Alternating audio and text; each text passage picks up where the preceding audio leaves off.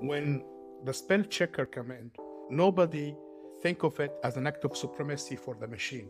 Everybody start using it, but then that the spell checker grow and grow, start guessing word for your search engine, start guessing pages now with ChatGPT, okay?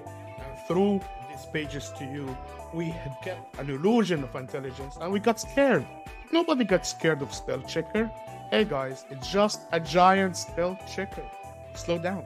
It's very useful. I'm not undermining the huge advancement in AI, generative AI. It's amazing. Because now instead of correcting or giving you a synonym or guessing a word, can give you a page, can write you an article. But it's there. It's only linguistic. It's only there. And it's not really intelligent. It's casting an illusion of intelligence. It's a huge data structure, great research algorithm, okay? Very smartly done. Instead of telling you, hey, we are putting the data in the data structure, as they used to say, they call it now learning algorithm. Fine. They call it deep learning. Great. Use the term that you, you like to use.